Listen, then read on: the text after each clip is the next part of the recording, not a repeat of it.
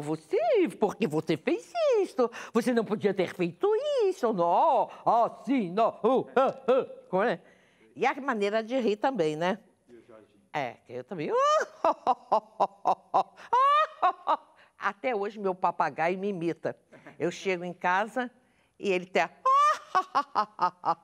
Bom, o teatro, você sabe que a igreja saiu de lá, felizmente. Só que, em vez de me entregar, eu só soube por um vizinho, porque ela deixou um bilhete do lado de fora dizendo assim: estamos na Avenida Nossa Senhora de Copacabana, número tal. Eu levei um susto, né? Porque o condomínio lá é 17 mil por mês. Porque o meu teatro é o maior teatro particular do Rio de Janeiro.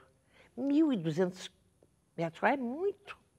Tem um pé direito que você pode fazer ópera. Olha, é, assim, é, tem 22 metros de altura, pode descer cenário subir, entendeu? Tem coxia, abertura do, abertura do Teatro Municipal, 14 metros de abertura. Uma maravilha.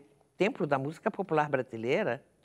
Os, os primeiros shows de grandes intérpretes foram lá e os últimos, da Alva de Oliveira, fez o último show lá no meu teatro.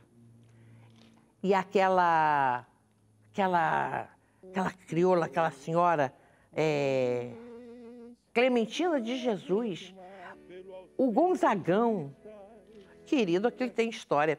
Eu já tive a Nórdica e vários outros já me pediram para eu escrever o histórico do Teatro Teresa Raquel, que merece. Eu, eu, eu preciso fazer isso. Por exemplo, a Gota d'Água, o primeiro espetáculo foi lá. O suco dos sentimentos, raiva, medo, desamor.